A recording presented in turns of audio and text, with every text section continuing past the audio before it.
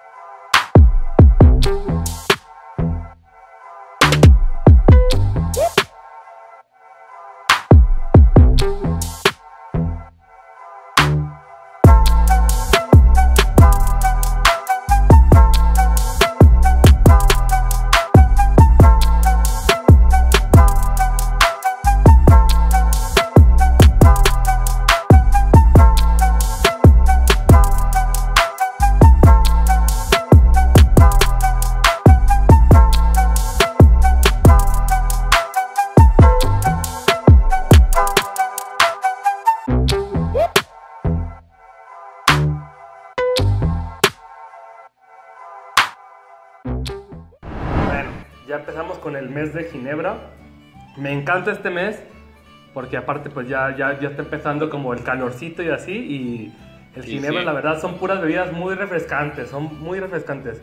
Esta Sí. bebida es con albahaca. La neta, a veces le va a pasar, ¿no? Que, que como le pasó a Mario y como le pasó a mí, que le van a batallar para conseguirla. No se equivoquen, no agarren menta, no agarren hierbabuena, aunque también sabe bueno. Perejil. Este, no agarren ni cilantro ni perejil. Está, como vieron, está bien fácil de hacer. Yo agarré como unas 10 ramitas de este, albahaca, las puse en el shaker o el agitador, las aplasté, le eché una onza y media de ginebra, le, eché, le exprimí medio limón y una onza de jarabe de azúcar. Ahí ya depende de ustedes cómo les guste de dulce o no. Igual hasta yo, le, yo para mis gustos le hubiera echado hasta menos azúcar. Lo shakeas, lo sirves y ya nomás para decoración le echas unas ramitas. Y lo sirves en un old fashion con hielos. Y sabe bien bueno. ¿Ya lo probaron? Sí, Ya, güey. ya, rico. De hecho, es bastante refrescante, ¿eh? Le, le bien puse, rico. le puse dos onzas la yo de ginebra, güey. No hay pedo, güey. La ginebra es muy buena, güey. Es riquísimo esto, güey. Este, no, y supone que esta receta originalmente va con Hendrix. Ah, Ujú. ¿Qué es el Hendrix? Hendrix es un ginebra que lleva, que tiene Ok. pepino y rosas y no sé qué cuando lo preparan. Ya ves que todos los ginebras son puras ramas y... Ajá. este, Ah, entonces sí va a ser más fresco aún. ¿sí, ¿no? ¿Eh? Podría ser más fresco aún con el Hendrix. Bueno, no sé Depende si el Hendrix eh, eh, el Hen- sí, el Hendrix es fresco, depende qué ginebra usen. Yo usé uno que se llama Roku, que es japonés y está, y está bien bueno, pero con el, con el que lo hagan, ¿eh? Con el que lo hagan les va a gustar. Va, va todo bien. Muy bien.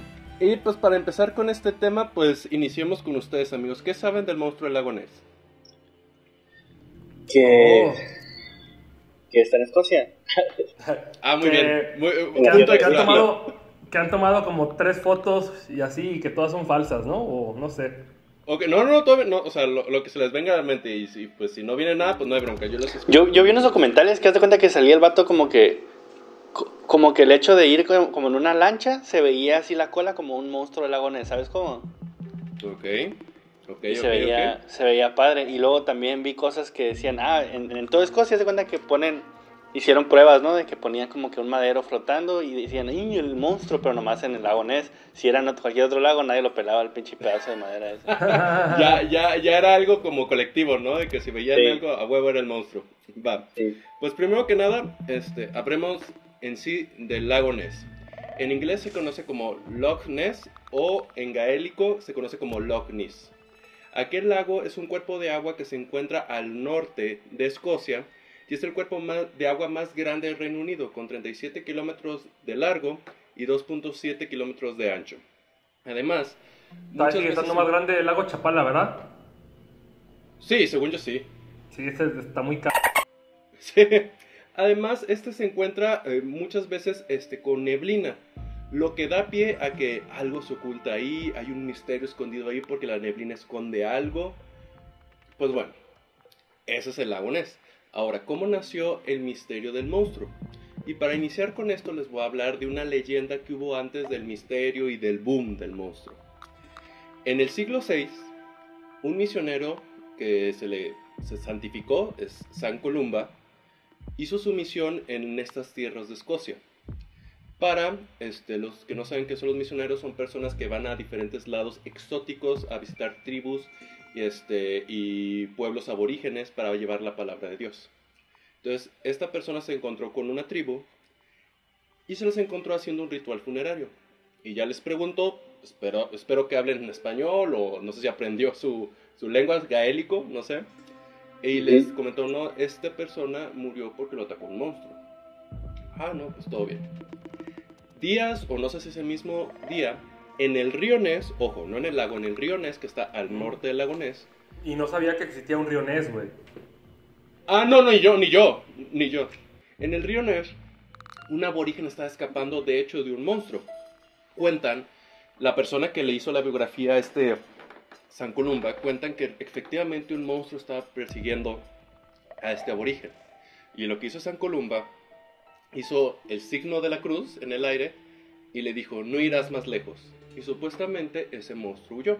Me recordó mucho la película El Señor de los Anillos con Gandalf y el Barlock, ¿no? así que dice, you shall, not pass, Exactamente, más o menos. Y digo, y pues Tolkien pues nació por ahí, bueno, no nació por ahí, pues estuvo viendo por ahí, igual se inspiró, quién sabe. Publicidad para nuestros videos de Lore. No, no es cierto. vean las películas, por favor. Y vean la película, sí, claro. Este, la bestia huyó y bueno, hablando nada más de las misiones, pues creyeron en la religión de San Columba y pues bueno, ahí inició la leyenda, pero el misterio y el fanatismo fue su boom en el año 1868 bueno, entre 1868 y 1930. ¿Por qué? Porque muchos barqueros, muchas personas que estaban en la orilla, vieron que algo había en el lago. Vieron como un pez gigante, remolinos, algo que ahuyentaba a los peces, y todo lo dijeron en el periódico, lo que generó pues una polémica ahí. Hasta que en 1933 una persona dice que lo vio de frente y la criatura lo vio y empezó a describirla. Y es cuando le dieron una forma como de dinosaurio. Como plesiosaurio. Sí, parece dinosaurio, exactamente. exactamente. En 1934, Hugh Gray tomó una foto y decían, ah, sí, es una serpiente marina y no sé qué. Porque si tú ves la foto y no te dicen realmente lo que es, igual si te dibujan una serpiente, van a ver la imagen aquí. Pero oh, ese mismo año... ¿eh?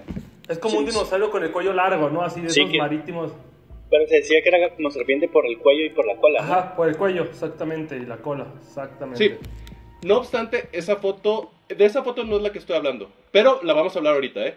o sea, hubo una foto antes, una foto, no, no, no hay bronca, no hay bronca, adelante. Y esta foto la desmintieron cuando supieron que Hugh Gray iba con su perro al lago a pasearlo y le aventaba una rama. Esa foto, si, le enfocas bien, verás que eh, al, hasta arriba está como la cabeza del perro, como que está nadando y tiene la rama en el hocico. Y como se ve borrosa, y parece como, como una serpiente, pues, junto con la rama y la cabeza del perro. Ahí la verán, ustedes me dirán. Pero, al ya desmentir eso, en el mismo año salió la foto que se llama Surgeon's Photograph que es la foto del cirujano porque un cirujano la tomó, que es la foto de la que están hablando ustedes, donde se ve oh. tal cual como un cuello largo saliendo de un cuerpo de agua. O sea, ni siquiera se ve la orilla, ni siquiera se ve algo distintivo del lago Ness, no, eso es un cuerpo saliendo de, un cuello largo saliendo de un cuerpo de agua. Esa foto fue tan controversial que durante 60 años fue evidencia clara y precisa de que hay algo en el lago Ness. O sea, recordemos, estamos en el 1930, pues, pues, digo, no existía Photoshop ni nada, entonces la gente se lo creía. Entonces dijeron, no, es un monstruo, un monstruo. Y si ves la foto, pues sí se ve una criatura así de cuello largo. No obstante, hazte cuenta que se ve, e, el, el lago se ve perfecto y el monstruo o lo que está ahí se ve oscuro. O sea, no se puede ver detalles de él. Sí, no, no, Pero- se, ve, se ve como somos la silueta nomás, pues. Exactamente, exactamente. Entonces el fanatismo creció y hubo cazadores del monstruo y que, que enviaron submarinos y que no sé qué, y que barcos supuestamente para cazarlo. No sé si lo encontraron o no lo encontraron y nunca dijeron, pero no se halló. Fue tal el fanatismo que hasta ahorita, en, estos, en estas épocas, en el 2013, está el último avistamiento que se cree del monstruo lagonés, que se encontró en la aplicación Apple Maps que es este como Google Maps que lo ven desde del cielo por un satélite se ve y de hecho sí se ve bien se ve una silueta de una criatura como un pez gigante en el lago Ness. No obstante ya sacaron este de que no o sea esa silueta es la estela que deja un barco cuando va pasando pues son las ondas que va dejando. Ah, güey. y luego dices, bueno pues todo bien Sospechoso. ajá exactamente. Ahora Sí, bien, porque sale atrás de un barco, ¿no? Ajá la, o sea foto, la foto esa. Bueno, no se ve el barco, o sea, ahorita van a ver la imagen, no se ve el barco, pero encontré Ah. otras imágenes que si, que digamos que es más cerca, o sea, obviamente se está tomado del espacio, pero si alguien, no sé, lo toma de un helicóptero, se alcanza a ver que hay un barquito, digamos, o sea, que un barquito puede producir esas ondas que se ven. Vale, vale. Ok. Ahora bien, ¿qué es el monstruo? El monstruo, como tú bien mencionas, Mario, se cree que es un plesosaurio. Los que no saben de, de dinosaurios, plesiosaurios es como un cuello largo, o un brontosaurio, o un brachiosaurio, dependiendo de lo que diga su paleontólogo. Marítimo. Exactamente, Su, su, su pale- su paleontólogo de cabecera. exactamente. El, el- el paleontólogo familiar. Entonces, en vez de tener patas pues para la tierra terrestres como de elefante, tienen aletas, aletas tipo ballena. Y eso es lo que se cree que es el plesiosario por todas las descripciones y por la foto del cirujano. Porque pues tal cual se ve el cuello largo y, y se alcanza a distinguir porque pues sale con la cabecita y todo en, el, en la foto. Pero ¿qué realmente es esa foto? Muchos dicen que es una rama, muchos dicen que son un pato, porque pues los patos también tienen un Mm. cuello largo y también se dobla de esa manera. O Un pato. lo que se cree es que el cirujano que tomó dicha foto este, utilizó un submarino, un submarino de juguete para Ah, hacer la ya. broma de eso, que fue totalmente una broma. No, ya, es como un, o sea, un barquito y que le puso como que arriba la, digamos, la maqueta de la forma del monstruo para estarlo moviendo así como, como si Exacto. estuviera nadando en el lago.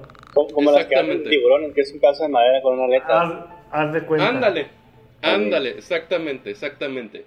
Eso es lo que se cree. Y de hecho, si ven la foto, se ven unas ondas alrededor de ese cuello largo. Y tú dices, esas ondas debieron ser, o sea, si lo que dicen es verdad de que el monstruo es gigante, esas ondas deberían ser olas. Pero se ven onditas como si tú tiras una piedra y se salen las onditas. O sea, se sí, ve claro. como si fuera algo más chiquito. ¿no? Sí, sí. Bueno, ahora, otras teorías de qué es este monstruo. Otros dicen que es parte de la fauna de lo que hay en el lago Ness. ¿A qué me refiero con la fauna? O sea, puede ser un pez, pues unos dicen que es una anguila, que viven anguilas ahí, y las confunden con monstruos, como, como lo que tú mencionaste al principio, Mario, de que ya cualquier cosa que vean, si viéndolo en el lago Ness, ah, es el monstruo. Sí, güey. Y este, lo más conocido, pero lo más raro es porque no se cree que ese animal esté en el lago Ness, es que sea un esturión europe- europeo. ¿Qué es un esturión europeo? Es un pez que puede llegar a medir 6 metros de largo. O sea, realmente eso es un monstruo. Son tres personas una sobre otra, Sí, güey. de largo. De, de, lo- de los esturiones es donde sacan el, el, el caviar, ¿no? No sabría decirte, viejo. Mi presupuesto no llega a caviar. No, crean, no, se Ok. crean. no, no, no tengo ni idea, no sé dónde lo sacan. Vivo, ahí sus referencias fresas, ¿no? No, está bien, está bien. Debe haber alguien conocedor del mundo aquí. No solo nosotros con cosas espirituosas. Cállense y continúen. Bueno, este, y para terminar este tema, nada más quiero mencionar que yo, como fiel creyente de lo paranormal, yo creo que sí hay algo ahí, no sé qué sea, pero ¿cómo pruebo que realmente hay algo ahí? Porque durante la historia de la humanidad, todas las creencias y mitologías siempre eh, muestran, o más bien este, en- dentro de, de esas mitologías hay una criatura marina o tipo marino, tipo serpiente o tipo dinosaurio que son este, deidades, pues. Por ejemplo, y esto no es de las mitologías, también es algo que si quisieran que lo hagamos un episodio, adelante, pongan los comentarios. Existe el Ogopogo. El Ogopogo es el monstruo del lago canadiense.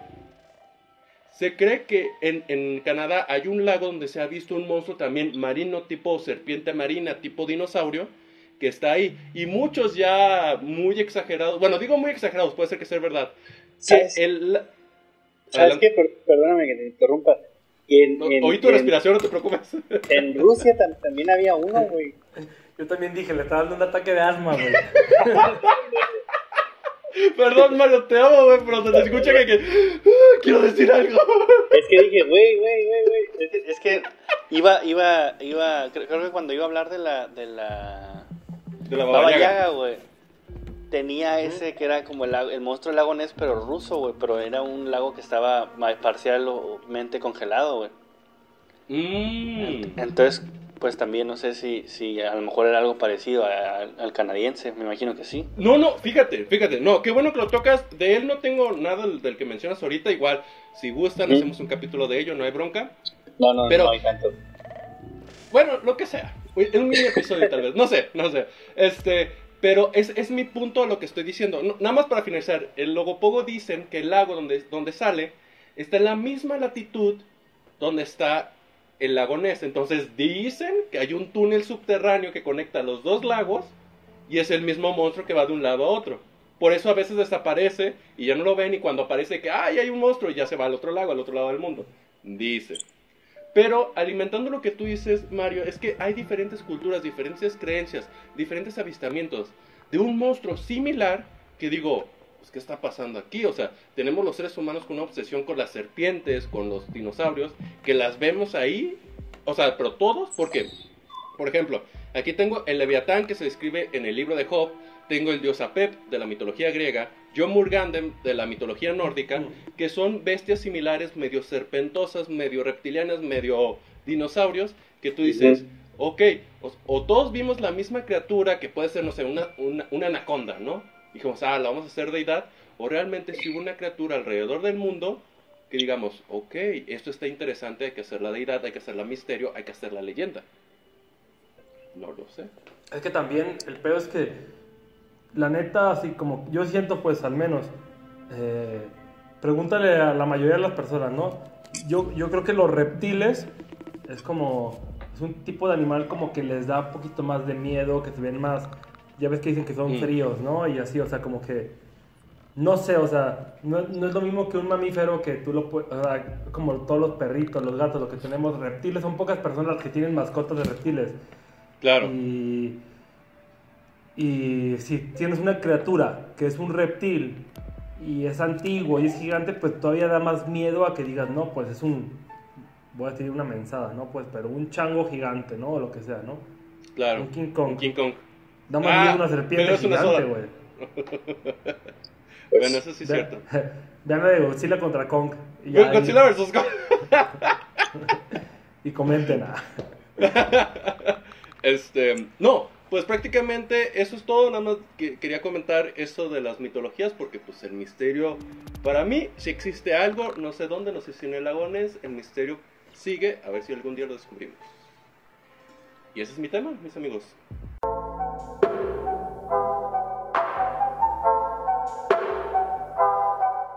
Pues mira, bro. Yo. El Yo escéptico soy- ya voy a hablar. No, es cierto, No, no, no. Sí, bueno. Te amo. Aparte, pues, este. Yo, yo soy de las personas que se meten. Igual está bien raro, ¿no? Pero me meto así en Google, ¿no? Así al mes normalmente, ¿no? De que nuevas especies encontradas en enero de 2021. En Ah, ¿a poco haces eso? 2021. Y, no, sí, siempre me meto, siempre investigo eso y siempre hay un chico de especies nuevas, ¿no? La mayoría Órale. son, pe- son pequeñas, así como una rana, una rana nueva, un insecto nuevo, así, ¿no? Pero de repente salen unos mamíferos que los ves, así como un chango o un venado o así, que tú dices, no mames, o sea, está súper grande, güey. ¿Cómo, cómo, ¿Cómo puede ser una especie nueva? Ajá, ¿Cómo puede ser nueva si, si está súper grande? ¿Cómo, ¿Cómo no lo hemos visto, no? Simón. Este, y este tipo de cosas son las que me hacen pensar de que digo, chale, o sea, sí, hay mucho que no conocemos y puede que esta, digamos, este monstruo del lago Ness, que la verdad yo no creo que exista, pues, pero, pero si existiera puede ser una especie, digamos, no, no, no quiero decir nueva, pues, más bien recién descubierta. Eh, Claro. Y puede, ser- y puede ser ese el caso. Luego, luego, cálenle, pónganle así, este, nuevas especies descubiertas, febrero 2021, ¿no? Así. Y ya van a Sí, ver que siempre salen. Salen Sí, salen muchos. Sí. No manches, está cañón. Eso no sabía. ¿Tú, Mario, qué opinas? Cuéntame. Yo, carnal, pues mira, ¿qué te digo? La No, lo neta, que tú quieras. mira. Ay, güey, no sé por dónde empezar. Mm. yo, yo vi muchos documentales también de este tema, güey. De hecho, me, me- me gusta mucho, lo, lo, lo quería dar. Pero. Sie- siempre están yo- así tú y el Pedro de que me ganaste el Sí, tema, ¿verdad? me ganaste el tema, sí. Fíjate que, o sea, yo, yo vi de que, o sea, documentales donde decía, ¿sabes qué? Es que, mira, lo- a lo que más se parece es a un plesiosaurio, ¿no? Como dijimos. Pero los plesiosaurios son, eh, tienen pulmones, son mamíferos. Mm. Entonces tenían que salir la cabeza a cada rato a respirar, ¿no? Sí, Entonces como una hubiera- ballena, ¿no? Que tiene que Ajá. estar respirando así. hubiera muchísimos más avistamientos. Y luego también dice, ¿sabes qué? Pero aparte del plesiosaurio, cuando encontramos restos ah, de, de uno, encontramos de varios, de cinco seis, o sea, andaban en manada y nomás han visto al monstruo a uno solo, ¿sabes?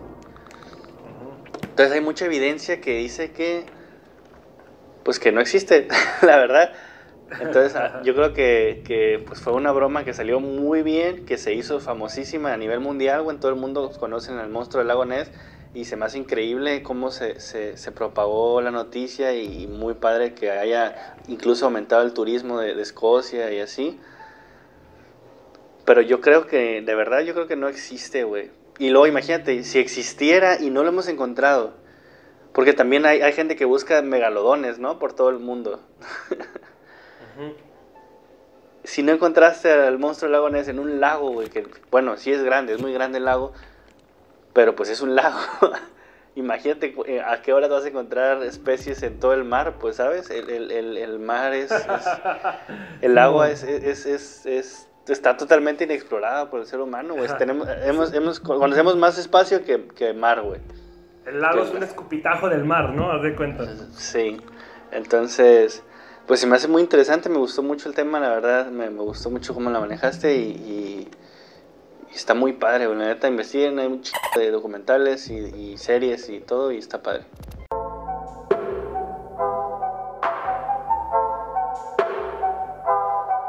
Del trago, pues fíjate, a mí se me hizo muy refrescante.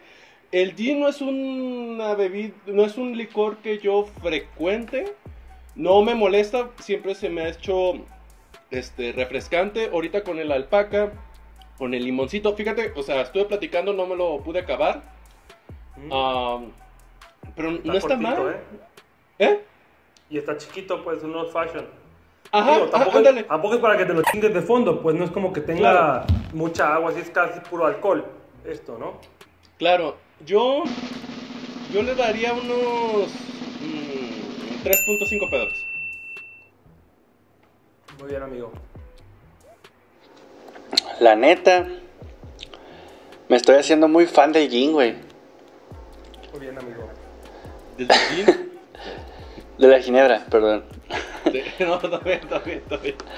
Sí, güey, fíjate que, que estaba muy emocionado ayer, güey, que fui a comprar mi botella de ginebra y la madre y estaba batallando para buscar la alpaca porque es, es rica, güey, la ginebra me gusta, me está gustando mucho. Eh, se me hace un- pues es un licor seco, pero aún así refrescante, güey, ¿sabes? No sé, no sé, siento que no muchos eh, licores logran eso y me gusta, me gusta mucho, se me hace que es muy fácil combinarlo. Y con la alpaca quedó muy bien, la alpaca huele riquísimo, el limón le quedó muy bien, el, el jarabe le aporta pues cuerpo, sabe, sabe, sabe muy bien. Y me gustó, me gustó mucho, le voy a dar 4.5 Marios. Se los merece, la neta. Muy bien, muy bien. Muy bien, amigo. Muy bien. ¿Sabes? Este, a mí, para que veas, la ginebra es de mis licores favoritos. Yo he probado un de ginebras diferentes. Todas tienen como que ciertas plantas que son como las mismas, pero es de que la- la- la- cuando agarras la botella dices, no, pues aquí tengo tantas plantas de nuestra isla que son las únicas y no sé qué, aquí no sé qué, aquí no sé qué. O es, es muy... Varía mucho entre botellas, es lo que quiero decir, ¿no? Las formas. Ah, O sea, no es como el tequila que siempre es el mismo agave. O, Exactamente. o- o como el vodka que es papa o caña. Ajá. cosas así. Va- varía mucho, este, sabe parecido pues, pero varía, tiene un- dos, tres toquecitos diferentes de diferentes plantas que agarran así. Y a mí, a mí lo que me gusta del ginebra es que todas, o sea, to- todas las ginebras que he probado, bueno, no, no me ha tocado todavía alguno que diga, ah, está malo. O sea, este, he bien. probado puros ginebras así que digo, están buenos, o sea, y son diferentes, ¿no? Y digo, bueno, este queda más como para algo más fresco, este es como más secón, este es más para, para martini, ¿sabes? Ujú. Y esta, por ejemplo, o sea, lo, lo bueno de Ginebra es que bebidas sencillas como esta, o alguna de algunas frutas, o lo que sea, pues algo muy sencillo, se podría hacer con cualquier Ginebra y si tú lo haces la misma bebida, con diferentes tipos de Ginebra, te puedes ver caer, o dices, esto es más bueno, más malo, y tú puedes como que, digamos, compararlo, ¿no? Ujú. Es una bebida muy buena y muy fresca para el verano. Ay, güey. Me gusta mucho también a mí, güey. Yo le, yo le daría cuatro Sí, yo pibas. estoy esperando la calificación, güey. Cuatro pibas. Perdónenme porque me tardé mucho. Cuatro No pibas. Cuatro, O sea, ¿cuatro ya, ya, pibas? ya sabemos que eres fan. Muy bien, muy bien, muy bien, muy bien, amigos. Y Piba, cuéntanos, cuéntanos, por favor, ¿qué vas a hablar la siguiente semana? Voy a hablar de una conspiración Muy bien. famo- famosona de, de la realeza. Es lo único que les quiero decir. Ah, Oh, ¿tiene que ver con la, con la noticia que pasó hace unos días a principios de abril? Ti- Tiene, tiene, No. que ver con, tiene que ver con Lady Diana. ah, sí, tiene que ver con ella. Este, Oh, Pero bueno, ya tienen una idea de qué es lo que vamos a hablar, así que espérenlo, les va a gustar. Va- Vayan viendo la, de- ¿cómo se llama? La serie esta, Rain. ¿The Crown o cuál? The Crown. Ah, The Crown, The Crown. sí. The Crown. Pues, eso ha sido todo por nuestro capítulo de hoy. No se olviden suscribirse, dejar su comentario, ponernos un like, ah, comentarnos lo que sea, pues lo que ustedes quieran, compártanlo con un amigo, a ver si les late este tipo de temas. Recuerden que también tenemos Spotify para que nos puedan escuchar si no nos pueden ver. Eh, sigan nuestras redes sociales, tenemos Instagram, tenemos Twitter, tenemos Facebook y TikTok también creo que no. Ah, están abajo Sí. en la descripción. Eh, y pues, nos vemos a la próxima. Cuídense. Saludos amigos.